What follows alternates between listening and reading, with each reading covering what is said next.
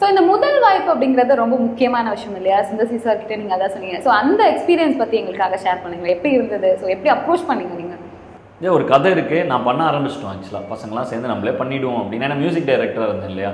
So எப்படியா பண்ணிடலாம்? பாட்டெலாம் போட்டு நம்ம அப்பப்போ பணம் வரப்போ கொஞ்சம் கொஞ்சமாக சேர்த்து சேர்த்து ஒரு படம் எடுத்துருவோங்கிற ஐடியாவில் இறங்கணும் அப்புறம் அது இறங்க இறங்க தான் தெரிஞ்சுது அது அப்படி அவ்வளோ ஈஸியான ஒரு விஷயம் இல்லைன்னு. அப்போ ஒரு டைம் சுந்தர் நாட்டை சொல்லிட்டு அப்படி என்ன நீ படம் எடுக்கிற? அப்படின்னு கேட்டார்.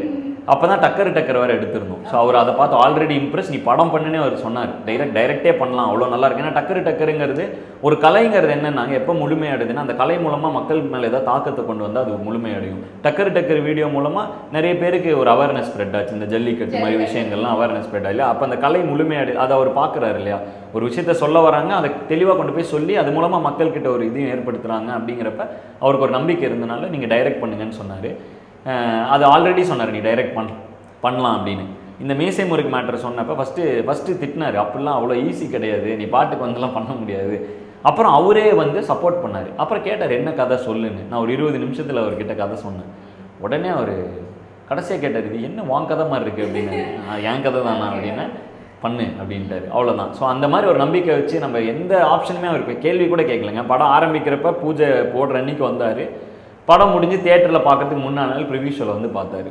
ஸோ அந்த அளவுக்கு நம்ம மேலே ஒருத்தங்க நம்பிக்கை வைக்கிறாங்கங்கிறப்ப அதுவே தான் எனக்கு பெரிய ஆடட் ரெஸ்பான்சிபிலிட்டி ஆகிடுது ஒருத்தர் அங்கங்கே வந்து ஏதாவது கருத்து சொல்லிட்டே இருக்காங்கன்னா கூட நம்ம வந்து சரி நீங்கள் தானே சொன்னீங்க போகலாம் அவர் எதுவுமே சொல்கிறது இல்லையா? ஸோ நமக்கு ஒரு பயம் வந்துடுது நம்ம இது ஜெயிச்சு ஆய ஜெயிச்சு காட்டி ஆகணும். நமக்காக ஜெயிக்காட்டி நம்ம மேலே ஒருத்தர் நம்பிக்கை வச்சுருக்காங்க. அதுக்காக ஜெயிக்கணும். அது அதுக்கான வேலை பார்த்தாலே போதுங்க. என் மேலே நிறைய இப்போ அடுத்த படத்தில் பார்த்தீங்கன்னா ரெண்டு படம் பார்த்து நிறைய மக்கள் நிறைய பேர் நம்பிக்கை வச்சுருக்காங்க. சரி வா நிறைய பேர்லாம் இப்போ நாங்கள் திருப்பூர் நிறைய இதுக்கெலாம் போனோம். சிட்டிஸ்லாம் டூர் போனோம். திருப்பூர் கோயம்புத்தூர் அப்புறம் மதுரை போனோம். லைனாக அந்த வழியிலெல்லாம் போனோம். தேட்டர்லாம் போய் பார்த்தோம். நிறைய குடும்ப குடும்பமாக குழந்தைங்களாம் கூப்பிட்டு வராங்க. ஸோ அவங்க ஒரு நம்பிக்கை வச்சுருக்காங்க. நம்ம படத்துக்கு வந்தால் ஓகே இவங்க நல்ல படம் எடுப்பாங்க. குழந்தைங்களோட வந்து பார்க்கலாம் அப்படிங்கிற படம் தான் எடுப்பாங்கன்னு ஒரு நம்பிக்கையில் வராங்களா அந்த நம்பிக்கையும் வந்து திருப்திப்படுத்தினாலே போதும். ஸோ எல்லாத்தோட நம்பிக்கையும் நிறைவேற்றிட்டோனாலே அவங்க இன்னும் நம்மளை நம்ப ஆரம்பிப்பாங்க. ஸோ அந்த நம்பிக்கை தான் அந்த ஃபேனு ஃபேண்டம் அந்த ஃபேன்ஸ் கூட அவரை கனெக்ட்டு ஃபேன்ஸ்னே இப்போ காலேஜ் பசங்க ஃபேனாக இருக்கிறது ஓகே பட் ஃபேமிலிஸ் கூட குழந்தைங்களை கூப்பிட்டு எங்கள் படத்துக்கு வராங்க அப்படின்னா எங்கள் மேலே ஒரு நம்பிக்கை வச்சுருக்காங்க. புரிஞ்சுக்கிறீங்க? ஒரு ஃபேமிலி ஆடியன்ஸ் குழந்தைங்களோட கூட்டிட்டு வரணும் அப்படின்னா என்ன எக்ஸ்பெக்ட் பண்ணுவாங்க அப்படின்றத எப்படி நீங்க கேட்ச் பண்றீங்க? நானும் அப்படிதாங்க இருந்தேன். நான் இப்போதாங்க வந்து சினிமா கொள்ளலாம் இதுக்கு முன்னாடி நானும் காலேஜ் ஸ்டூடெண்ட் தான். இதுக்கு முன்னாடி நானும் அதே மாதிரி ஒரு ஃபேமிலியில இருந்து சின்ன வயசுல நம்ம நான் சின்ன வயசுல நான் ஒரு ஜென்ரல் ஆடியன்ஸ் தானே. சின்ன வயசுல இல்லை இப்போ வரைக்கும் நான் ஒரு ஜென்ரல் ஆடியன்ஸ் தான். இப்போவும் ஊருக்கு போனால் பசங்களோடயோ இல்லை ஃபேமிலியோடயோ படத்துக்கு போனால் நம்ம ஒரு ஜென்ரல் ஆடியன்ஸாக தானே படத்துக்கு போகிறோம் ஸோ நாளைக்கும் என் பசங்களை எந்த மாதிரி படத்துக்கு கூட்டு போகணுங்கிற ஒரு விஷயத்தில் நான் இருப்பேன். அப்புறம் வளர்ந்தக்கப்புறம் நம்ம என்ன படம் பார்ப்போம்னு ஒரு மீட்டர் இருக்கும். ஸோ அதெல்லாம் தாண்டி தான் வந்திருக்கோம். இப்போ டைரெக்டாக நம்ம வந்து ஒரு சினிமா அப்படின்னு ஒரு டைரெக்டாக வராமல் தொடர்ந்து நம்ம ஒரு ஆடியன்ஸாக இருந்து படிப்படியாக மேலே வந்து வரனால நமக்கும் தெரியும் இல்லையா என்ன ஆடியன்ஸுக்கு கொடுக்கணும். அப்படிங்கிறது. ஸோ அதனால தான் அது அதனால மேபி நான் இதுதான் ஆடியன்ஸ் பார்ப்பாங்க அப்படிலாம் பண்ணுறது இல்லைங்க. நான் அந்த பாயிண்ட்ல இருந்து யோசிக்கிறோம்ல இந்த கண்டென்ட் கொடுத்தோம் அப்படின்னா நிஜமாவே ஃபேமிலி ஆடியன்ஸ் வந்து அக்செப்ட் பண்ணிப்பாங்க அப்படின்ற அப்படி பார்த்தா ரெண்டு படத்தையும் நீங்க கால்குலேட்டே பண்ண முடியாது வராது. ஏன்னா மீசை முறுக்குங்கிற ஒரு படம் வந்து ரேப் மியூசிக்லாம் வச்சு நடுவில் ஒரு ரேப்பர் வந்து இதாகிறாங்கிறப்ப ரேப்புங்கிற ஒரு விஷயமே அந்த டைம்ல இது இன்னைக்கு அவ்வளோ பரவலாக இல்லை. இப்பாப் தமிழா மட்டும்தான் இப்பாப்னு தெரியும். நிறைய ஆர்டிஸ்ட் இருக்காங்க. இருந்தாலும் இப்பாப் தமிழா இப்பாப்னா இப்பாப்புங்கிறது ஒரு ஆளுன்னு நினச்சிட்டு இருக்காங்க. ஒரு ஜான்ரா விட ஸோ அந்த மாதிரி ஒரு நிலைமையில இருக்கப்ப அதுவே ஆஃப் ஆஃப் ஆன ஒரு படம் தான் அதை விட பெரிய ரிஸ்க் என்னன்னா மொதல் படத்துல நம்ம கதையை நம்ம போய் சொல்றோம். ஏய், நீ யாரா நீலாம் உன் கதையை சொல்லணும். கான்ட்ரவர்சி இருக்குல்ல முத படமே பண்றோம். அது ஏதாவது ஒரு நல்ல கான்செப்ட் ஆமா. சொந்த கதையே எடுத்தா எப்படி அப்படின்ற மாதிரி அந்த மாதிரி நிறைய பேர் சொல்லுவாங்க. அதுதான் நான் சொல்றேன். இப்போ வரைக்கும் சொல்லிட்டே தான் இருப்பாங்க. இதுக்கப்புறமும் சொல்லுவாங்க. நம்ம நம்ம எங்க போனாலும் நம்மள சொல்லிட்டே தான் இருப்பாங்க. நமக்கு என்ன வேணும் நமக்கு ஒரு விஷயம் இருக்கு இல்லைங்களா? அதை அதை நோக்கி அதான் அது முழுமையா இருக்கும். அது வந்து நம்ம நான் இதுதான் அப்படி பிடிவாதமா இல்லாம ரொம்ப சென்சிபிளான விஷயங்களை செய்யறப்ப அது ஆட்டோமேட்டிக்கா சக்சஸ்ஃபுல் ஆகும் ஃபேமிலி என்ன சொன்னாங்க அவங்க பெருசா எதுவும் சொல்ல பண்ணிக்கல. பெருசா ரியாக்ட் பண்ண மாட்டாங்க. அவங்க. அப்ப எப்படி இருக்காங்களோ அதே ஃபீல்ல தான் நம்மள இன்னும் பார்த்துட்டு இருக்காங்க. இப்ப நட்பே துணைக்கு அப்புறம் கூட அதே மூடு தான். நான் மீசை முறுக்கு அப்புறம் அதே மூட்ல இருந்தாங்க. புரிஞ்சு ஓகே அவங்களுக்கு இன்னும் தெரியல. மேபி இன்னும் அவங்களுக்கு அந்த இது தெரியல அப்படின்னு பார்த்தேன்.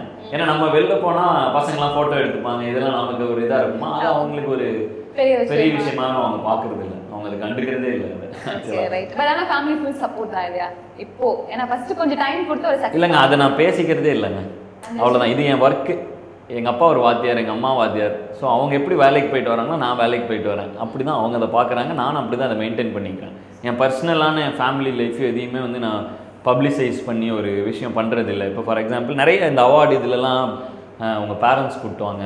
அப்படி பண்ணலாம் இப்போ அது வேணாம். அது வந்து அவங்க அவங்க அவங்க எங்கள் அப்பாலாம் பார்த்து டென்ஷன் ஆகிடுவார் ஏன்னா நீலாம் வாங்குறதுக்கு நான் வரணுமாடான்றவர். எங்கள் அப்பா என்கிட்ட அடிக்கடி சொல்லுவாருங்க. என்னென்னா எதுக்கு உங்களுக்குலாம் ஃபஸ்ட் அவார்டு எதுக்கு இது அவார்டு நான் ஒரு வாத்தியார். நான் எத்தனையோ பசங்களை வந்து என்ன மாதிரி எத்தனையோ வாத்தியார்கள் இந்த ஊரில் இருக்காங்க. நியாயமாக எத்தனையோ பேரோட வாழ்க்கையை நாங்கள் வடிவமைக்கிறோம். நாங்கள் எந்த அவார்டையும் எதிர்பார்க்குறது இல்லை நாங்கள் இது ஒரு கடமையாக செய்கிறோம் அது மாதிரி மக்களை சந்தோஷப்படுத்துறதுங்கிறது தான் உன்னோட வேலைங்கிறப்ப அதை நீ ஒரு கடமையாக செய்யணும் அப்படிங்கிற மாதிரி சிம்பிளாக முடிச்சிருவாரு. ஸோ இந்த மைண்ட் செட்டில் இருக்கிறனால நம்மளுக்கும் அது பெரிய ஒரு ஆ நம்ம ஜெயிச்சிட்டோம். அந்த ஃபீல் வராது. நம்ம தொடர்ந்து இன்னும் அடுத்து அடுத்து என்ன அடுத்து என்னங்கிற ஒரு விஷயத்திலே தான் வச்சுருப்பாங்க. அந்த மைண்ட் செட்டில் தான் வச்சுருப்பாங்க. பட் இப்போ நான் கேட்க போற கொஸ்டினுக்கு வந்து ரொம்ப ஹானஸ்டா நீங்க வந்து பதில் சொல்ல டிப்ளமேட்டிக்காலாம் சொல்லக்கூடாது நான் முதல்ல சொன்ன மாதிரி டைரக்டர் மியூசிக் டைரக்டர் ப்ரொடியூசர் இந்த மாதிரி நிறைய கேட்டகரியில வந்து நீங்க நிக்கிறீங்க. ஸோ எது வந்து ரொம்ப கம்ஃபர்டபுளா ஃபீல் பண்றீங்க? இல்லைங்க இது நான் நிறைய பேர்கிட்ட சொன்ன பதில் தான் டிப்ளமேட்டிக்லாம் இல்லை ரொம்ப ஹானஸ்டான ஸ்ட்ரைட்டான ஆன்சர் தான். எல்லா ஃபீல்டுமே கம்ஃபர்டபுள் தான். ஏன்னா நம்ம வந்து வாழ்க்கையில் எதுவுமே இல்லாதப்ப ஏதோ ஒன்று கிடைக்குமா நோக்கி நம்ம வெறி கொண்டு ஓடுறோம் பார்த்தீங்களா எல்லாம் கிடைக்கிறப்ப எல்லாத்தையுமே செய்கிறோம் அதுதான் விஷயம். ஸோ நான் வந்து இண்டிபெண்ட் ஆர்டிஸ்ட்டாக இருந்தப்ப நானே டைரக்ட் பண்ணுவேன் நானே வீடியோ எடுப்பேன் நானே நடிப்பேன் நானே லைட் மேனெல்லாம் இருந்திருக்கேன் நானே தெர்மாக்கோல் பிடிச்சிருக்கேன். நானே வந்து இந்த வாடிப்புள்ள வாடி இந்த கடல்லலாம் போய் எடுத்தோம். அந்த டைம்லலாம் வந்து என் பசங்க தான் அஸ்வின் சக்திவேல்னு நம்ம என் தம்பி மாதிரி அவன். அவன் தான் வந்து அதை டைரக்ட் பண்ணிட்டுருக்கான். நானும் ஒன்று சேர்ந்து பண்ணுறோம் ஸோ அப்பா அவன் அந்த கடலுக்குள்ளே போகிறான் நாங்கள் வெளியில் எங்கள் கரையில் நின்றுட்டு இருக்கோம் ஸோ இந்த மாதிரி தொடர்ந்து நாங்கள் கீழேருந்து எல்லாமே பண்ணனால எல்லாத்தையும் இன்னும் அதே வேகத்தோடு பண்ணுறோம் அவ்வளோதான் அது கொஞ்சம் லக்ஸரி ஆகாமல் அதே ஃபீல்டில் பண்ணிகிட்டு இருக்கிறனால தொடர்ந்து எங்களால் பண்ணிகிட்டு இருக்கவே முடியுது. இன்றைக்கி எங்கள் பசங்கள்லாம் ஒரு ஒருத்தராக டைரக்டர் ஆகிட்டு வராங்க. ஸோ என் கூட இருந்த பசங்களாம் அடுத்து அசிஸ்டன்ஸ்லாம் வந்து படம் பண்ண போகிறாங்க ஸோ அந்த மாதிரி விஷயம்லாம் நடக்க ஆரம்பிக்குது. ஸோ அவங்களும் அதே மனநிலையில் இருக்காங்க. அவங்களுக்கு அது அவங்க அவங்க ஒரு அசிஸ்டன்ட் டைரக்டர் என்ன ஃபீல் இருப்பாங்களோ அதே ஃபீலில் நம்மளும் இருக்கணும். அப்போ தான் நம்மளாலே ஓடி ஜெயிக்க முடியும். ஸோ அந்த இதில் தான் இருக்கும். ஸோ எனக்கு இது பிடிக்கும் அது பிடிக்கும்லாம் இல்லை எனக்கு மொத்தமாக எல்லாமே பிடிக்கும். என்னுடைய கலையை நான் மக்கள்கிட்ட கொண்டு போய் சேர்த்துறதுக்கு இது எல்லாமே நான் மீடியமாக யூஸ் பண்ணிட்டுருக்கேன் அவ்வளோதான் நெக்ஸ்ட் என்ன பண்றதா பிளான் உங்களுக்கு? நெக்ஸ்ட் வந்து நான் பெருசாக பிளான் பண்ணிக்கிறது இல்லைங்க ரொம்ப ஒரு அஞ்சு வருஷம் எல்லாத்துக்கும் ரொம்ப சிம்பிளாவே பதில் சொல்றீங்க? அவார்ட்ஸ் நான் பெரிய விஷயமா எடுக்க மாட்டேன். பேரண்ட்ஸ் எல்லாம் கூட்டு வர சொன்னா அதையும் நான் ஸ்டாப் பண்ணிடுவேன். அடுத்து என்ன பண்ணி பெருசாலாம் நான் எதுவும் பிளான் பண்ணல. எப்படி இந்த மாதிரி? இல்லைங்க இங்கே அதாவது ரொம்ப நெகட்டிவாக பேசுங்கன்னு எடுத்துக்காதீங்க. இப்போ நாளைக்கு நம்ம என்ன பண்ணிருப்போங்கிறது நிலை இல்லை. உலகத்தில் நாளைக்கு நம்ம இருப்போமா இல்லையாங்கிறதே நிலை இல்லை. அப்போ இருக்கிறப்ப அந்த விஷயத்த முழுமையாக சந்தோஷமாக மனநிறைவோட எல்லாருக்கும் சந்தோஷம் கொடுக்குற மாதிரி ஒரு பாசிட்டிவிட்டியை ஸ்ப்ரெட் பண்ணி நம்ம இருந்தாலே போதும்னு நினைக்கிறாள் ஸோ தொடர்ந்து எங்களோட அடுத்த கட்டம் இது என்னன்னா இப்போ இந்த வருஷத்துக்கு அப்படிங்கிறது தான் பிளான் பண்ணுவோம். ஒரு அஞ்சு வருஷம் கழிச்சு நான் இப்படி ஆகும் அப்படி ஆகும் அஞ்சு வருஷம் கழிச்சு நம்ம இருப்போமா இல்லையானே சொல்ல முடியாது. ஸோ அதனால தான் அந்த அளவுக்கு நான் பிளான் பண்ணுறது இல்லை இப்போதைக்கு அடுத்து ஒரு படம் பண்ணிகிட்டு இருக்கேன் சுந்தர் சார் கூட தான். அவர் ப்ரொடக்ஷனில் சங் சங்கர் சாரோட அசிஸ்டண்ட்டு ராணா அப்படின்னு ஒரு ஏற்கனவே ஒரு ஷார்ட் ஃபிலிம் வந்து ரொம்ப வைரல் ஸோ அவர் அவர் ஒரு நல்ல டேலண்ட்டு ஸோ அவரை முதல்ல இருந்தே நாங்கள் ஃபாலோ பண்ணி அந்த பையனோட அந்த பையனோட முதல் படமாக அது இருக்கும். போன படத்தில் பார்த்திபன் தேசிங்கு அவரோட முதல் படம் நட்பே துணை இவர் இந்த படத்தில் இவருக்கு ஒரு வாய்ப்பு. ஸோ அந்த மாதிரி தொடர்ந்து இப்போதைக்கு இந்த படம் அடுத்து கோமாளின்னு ஒரு படத்துக்கு மியூசிக் டைரக்டராக ஜெயம் ரவி நான் வந்து ஹீரோ ஒர்க் பண்ணுறாரு ஸோ அந்த படத்துக்கு மியூசிக் டைரக்டராக பிரதீப்னு ஒரு நியூ ஃபேஸ் அவரும் புது முக இயக்குனர். அவரையும் முதல்லேருந்தே எனக்கு தெரியும். அவரோட ஷார்ட் ஃபிலிம் நான் மிகப்பெரிய ரசிகன். ஸோ அவரும் வந்து ஃபஸ்ட்டு சாய்ஸ் சாய்ஸே கிடையாது மியூசிக் டைரக்டர் பாப் தமிழா தான் அப்படின்னு வந்த ஒரு டைரக்டர் ஸோ அந்த மாதிரி இப்போதைக்கு இந்த படம் போயிட்டுருக்கு. தெலுங்கில் ஒரு படம் இருக்குது அது இப்போ நீ தான் ஸ்டார்ட் ஆக போகுது. ஸோ இந்த மாதிரி போயிட்டுருக்கு. அப்புறம் தமிழ் முடிஞ்சுது. கொஞ்சம் இந்த ஃபினான்ஷியல் இஷ்யூஸ் ஏன்னா ப்ரொடியூஸ் பண்ணுறோம் நாங்கள் ஸோ அது வந்து ஒரு டாக்குமெண்ட்ரி ஸோ அதில் ரிட்டன் கிடையாது. ஒரு படம் எடுக்கிறோன்னா படம் ஜென்ரலாக எப்படி ப்ரொடியூஸ் பண்ணுறாங்கன்னா இவ்வளோ இதுக்கு பண்ணுவோம் இவ்வளோ விற்போம் இவ்வளோ ப்ராஃபிட்னு ஒரு ஃபிக்ஸில் பண்ணுறாங்க பட் இது முழுக்க முழுக்க ப்ராஃபிட் கிடையாது. ஜீரோ ப்ராஃபிட் அப்படியே மக்களுக்கு ஃப்ரீயாக இலவசமாக ஒரு ரிசர்ச் தமிழை பற்றி ஒரு ரிசர்ச் டாக்குமெண்ட்ரி பண்ணி கொடுக்க போகிறோம் ஸோ அதுக்கான பொருள் தேவை நிறையா இருந்துச்சு. ஸோ அதுக்காக இந்த படங்கள்லாம் நடித்து இப்போ தான் ரெடி பண்ணி ஃபிக்ஸ் ஆகிடுச்சு இப்போ தமிழ் எடுத்து ரிலீஸ் ஆகிடும் ஸோ அந்த மாதிரி தொடர்ந்து எனக்கு இந்த வருஷத்துக்கு இவ்வளோ தான் பிளான் அப்புறம் ரெண்டு பசங்களை இண்டிபெண்டன்ட் ஆர்டிஸ்ட் சைன் பண்ணியிருக்கோம். ஸோ இப்போ தமிழா இண்டிபெண்ட் ஆர்டிஸ்ட் டெவலப்மெண்ட் ப்ரோ இப்போ தமிழா ஆர்டிஸ்ட் டெவலப்மெண்ட் ப்ரோக்ராம்னு ஒன்று ஆம்பளை படங்கள் படத்தில் இப்போவே பசங்களை வச்சு ஒரு தனியாக ஒரு இது மாதிரி ஆரம்பித்து அதில் ஆர்டிஸ்ட்டை ஸ்கவுட் பண்ணி ஸ்கவுட் பண்ணி ஃபீச்சர் பண்ணிட்டுருந்தோம் எங்கள் பாட்டில் பார்த்தீங்கன்னா நிறைய பேர் காதல் கிரிக்கெட் கரிஷ்மாலாம் நீங்கள் பார்த்துருப்பீங்க. ஸோ அந்த மாதிரி அப்புறம் என்ன நடந்தாலும் பாட்டு கௌஷிக் கிரிஷ் கண்ணால கண்ணாலாம் பாடினான் ஸோ இந்த மாதிரி ஆர்டிஸ்ட் எடுத்து நிறைய பேர் அதில் சக்ஸஸ்ஃபுல்லாக மார்க் மேக் பண்ணியிருக்காங்க. நிறைய பேர் ட்ரை பண்ணிகிட்டு இருக்காங்க நிறைய பேர் பெருசாக அமையலை. ஸோ அந்த மாதிரி நிறைய பேர் இருக்காங்க. ஸோ இப்போ ப்ராப்பராக ஒரு லேபிளே ஆரம்பித்து அதில் தொடர்ந்து ஆர்டிஸ்ட் புது ஆர்டிஸ்ட் ப்ரொடியூஸ் பண்ணுற ஒரு ஒரு விஷயத்தையும் இறங்கியிருக்கோம். என்ன மாதிரியே நிறைய இண்டிபெண்ட் ஆர்டிஸ்ட் மியூசிக் பண்ணோன்னு நிறைய பேர் இருக்காங்க. ஸோ அவங்களுக்கு ஒரு மீடியமாக இருக்கட்டுமேனு அது ஒன்று ஆரம்பிச்சிருக்கோம். அதில் ரெண்டு ஆர்டிஸ்ட் இப்போ மியூசிக் வீடியோ இப்போ தான் ரெண்டு பேரோட ஷூட் ஒருத்தர் ஷூட் முடிஞ்சது அடுத்தர் ஷூட் போகிறாங்க ஸோ அந்த மாதிரி பசங்க அடுத்து இறக்க போகிறோம் ஸோ அந்த மாதிரி இவ்வளோ தான் என்னோட பிளான் இதுக்கப்புறம் இந்த படம் முடியும். அதுக்கப்புறம் நம்ம டிசைட் பண்ணலாம். அடுத்து என்ன நடக்கும் அப்படிங்கிறது. அண்ட் இன்னொன்று பாட்டை வந்து ரீமேக் பண்ணி கொடுக்கறதுல பயங்கரமாக கான்சென்ட்ரேட் பண்ணிட்டு இருக்கீங்க. ஸோ அதை பற்றி சொல்லுங்கள் எனக்கு ரொம்ப பிடிக்குங்க ரீமிக்ஸ் ரொம்ப பிடிக்கும். நான் வந்து எனக்கு எப்படின்னா வந்து எங்கள் அப்பா வந்து சின்ன வயசில் எனக்கு அது எங்கள் அப்பா அந்த இதை இது வந்து நைட் ஆச்சுன்னா அந்த டேப் ரெக்கார்டில் அந்த கேசட் ஒரு பதினெட்டு பாட்டு ரெக்கார்ட் பண்ணி வச்சிருப்பாரு. அதை போட்டு விட்டு அப்படியே நான் தூங்குறப்பெல்லாம் அந்த காலத்தில் இந்த பட்டுக்கோட்டை ஐயா பாட்டு கண்ணதாசன் ஐயா பாட்டெலாம் ரொம்ப பழைய பாடல் மட்டும்தான் அவர் செலக்ட் பண்ணி வச்சுருப்பாரு. அதெல்லாம் கேட்டு கேட்டு தான் வளர்ந்தேன். நான் கேட்ட பாடல்கள் அந்த காலத்து பாடல்கள் எல்லாம் வந்து இப்போ திருப்பியும் இன்னைக்கு இருக்கிறவங்களுக்கு அது என்ன பாட்டுனே தெரில ஒன்றும் இல்லை அடுத்த ஜென்ரேஷனுக்கு தெரிலனா பரவாயில்ல. என் கூட இருக்கிற பசங்களுக்கே நிறைய பேருக்கு அது என்ன பாட்டு இதெல்லாம் என்ன பாட்டுனே தெரில ஸோ அந்த மாதிரி பாட்டை திருப்பி இன்னைக்கு ரீவிசிட் பண்ணுறப்ப அந்த பாட்டுக்கு ஒரு ஃப்ரெஷ் அவுட்லுக் கிடைக்குது. அதே சமயத்தில் பழைய பாட்டையும் திருப்பி போய் கேட்குறாங்க அது மூலமாக ஒரு இன்ட்ரெஸ்ட் வருது. நிறைய பழைய அது சம்மந்தப்பட்ட நிறைய பழைய பாட்டுகள். இப்போ நான் ஆப்பிள் மியூசிக்கில் ஒரு பாட்டு கேட்குறேன்னா கீழே அது ரிலேட்டட் சாங்ஸ் வரும். இப்போ யூடியூப்பில் ஒரு பாட்டு பார்க்குறேன்னா ரிலேட்டட் சாங்ஸ் வரும். ஸோ அது மூலமாக அதுலேருந்து புது மியூசிக் டிரைவ் பண்ணுறேன் ஸோ இது வந்து route routing back to the olden days ஒரு பழைய பாட்டு எடுத்து நம்ம ரீமிக்ஸ் பண்ணுறோங்கிறப்ப அது மூலமாக அது இப்போ ஒன்றும் இல்லைங்க. கவன் படத்தில் தீராத விளையாட்டு பிள்ளைன்னு சொல்லி பாரதியாரோட பாடல் எடுத்து ஒரு பண்ணோம். ஸோ பொதுவாக வந்து இப்போ ஒரு ஒரு ஒரு நிறைய பேர் பாரதியார் பாடல்கள் இன்னும் படிக்கிறாங்க.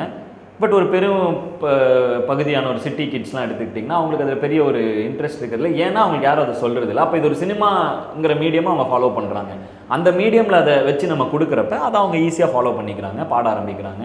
ஸோ அந்த மாதிரி ஒரு விஷயம் தான் அது. அப்பப்போ இந்த ரீவிசிட்டிங் அது போக அது ஆல்ரெடி அவங்களுக்குள்ளே இருக்கிறனால ஒரு ரீகால் வேல்யூவும் இருக்குது ஸோ அந்த மாதிரி விஷயங்களை ஈஸியாக நம்ம பண்ணுறோம் தொடர்ந்து எனக்கு நான் எல்லா படங்களையும் தொடர்ந்து ஏதாவது ஒரு பழைய பாட்டு எடுத்து ரீமிக்ஸ் பண்ணுறதாகட்டும் அதெல்லாம் பண் பண்ணணுங்கிற ஐடியாவில் தான் இருக்குது ஓகே ஸோ பாரதியார் மேல இருக்கக்கூடிய அந்த பற்று அதை பத்தி சொல்லுங்க. எப்போல இருந்து இந்த விஷயம்? இல்ல என்னோட சின்ன வயசுல நான் பாரதியார் யூனிவர்சிட்டியில் தான் பாரதியார் யூனிவர்சிட்டியில் தான் வளர்ந்தேன். ஸோ அதனால் அங்கே வளர்றனால எனக்கு இப்போ எங்கள் வீட்டு வாசலில் வெளில வந்தோடனே எங்கள் கேம்பஸ் முன்னாடி அவ்வளோ பெரிய பாரதியார் சிலை இருக்கும்.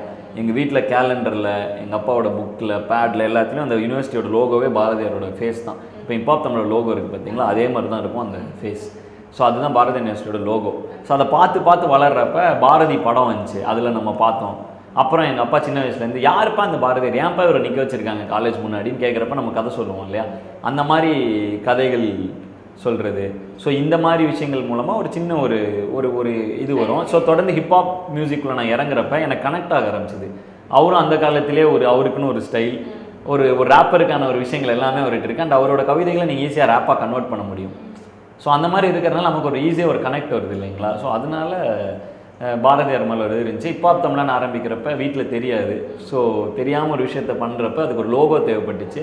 அப்போ அந்த பாரதி யூனிவர்சிட்டியோட லோகோவை தான் எடுத்து இல்லை அப்படி இல்லை. தெரியக்கூடாதுன்னு தான் பண்ணோம். ஃபஸ்ட்டு நானும் ஜீவாவும் வெளியிலலாம் நாங்கள் ஃபஸ்ட்டு எங்களோட பழைய இப்போ டூ தௌசண்ட் ஃபைவ் சிக்ஸ்லேருந்து பண்ணிட்டுருக்கோம். ஒரு நைனுக்கு அப்புறம் அந்த கிளப்பில் மப்பில் ரேடியோவில் ஒன்று பாடி வைரல் ஆச்சு. அதுக்கப்புறம் தான் எங்களை தெரிய ஆரம்பிச்சிருச்சு. அப்புறம் இப்போ ஒரு பாட்டு ரிலீஸ் பண்ணுறோம் நம்ம அதை பற்றி போய் பேச வேண்டியதாக இருந்துச்சு. இன்னுமே ஜீவா வந்து தெரியாமல் தான் இருக்கார். ஜீவா யாருன்னு யாருக்குமே தெரியாது.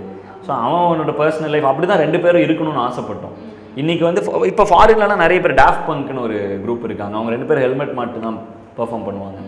ஸோ அந்த மாதிரி தான் நாங்களும் ஆசைப்பட்டோம். பட் இந்த இண்டஸ்ட்ரி இந்த இதில் அது பண்ண முடியாதுங்கிற ஒரு விஷயம் தெரிஞ்சுக்கிட்டோம். அப்புறம் நான் என்னோட இப்போ ப்ரெஸ் மீட் இதெல்லாம் வரப்போ நம்ம வந்தாகணும். ஸோ அப்போ நம்ம மூஞ்சி தெரிய ஆரம்பிக்குது. அது தெரிஞ்சது ஒரு வகையில் நல்லது தான். அப்படி படம்லாம் பண்ண ஆரம்பித்தோம். பட் எங்களோட ஆசை வந்து மியூசிக் மட்டும் பண்ணணுங்கிற ஒரு ஆசையில் தான் இருந்தோம். ஸோ அதனால் அந்த லோகோ மட்டும்தான் இருக்கும். அது ஞானி சாரோட லோகோ அந்த இப்பாப் தமிழோட அந்த அந்த இது வந்து அவருடைய டயக்ராம் அதில் எடுத்து இப்பாப் தமிழ் இது பண்ணி ஒரு லோகோ ரெடி பண்ணி அந்த லோகோ யூடியூப் பேஜ் ஆர்குட் பேஜ்லலாம் ஃபேஸாக வச்சு அதில் பாட்டு போட ஆரம்பிச்சிடும் ஃபஸ்ட் நாங்கள் அனானிமஸ் எந்த யார் என்னன்னே தெரியாது. அதுக்கப்புறம் கொஞ்சம் கொஞ்சமாக அந்த கிளப்ல மப்பில் ஹிட் ஆனோன்னா அப்புறம் அதில் பாப்புலாரிட்டி வர ஆரம்பிச்சது அந்த மாதிரி. சூப்பர் அண்ட் வந்து இவ்வளோ நேரம் ரொம்ப அழகாக எங்களுக்காக வந்து டைம் ஸ்பெண்ட் பண்ணீங்க. உங்களோட நெக்ஸ்ட் ப்ராஜெக்ட் எல்லாமே வந்து சூப்பர் சூப்பர் ஃபிட் ஆகுன்னு சொல்லி விஷயம் சொல்லிக்கிறோம். அண்ட் மிஸ்டர் லோக்கலுக்காக ஸ்பெஷலாக உங்களுக்கு நாங்கள் விஷயம் சொல்லிக்கிறோம். Thank you so. மச் ரொம்ப நன்றி.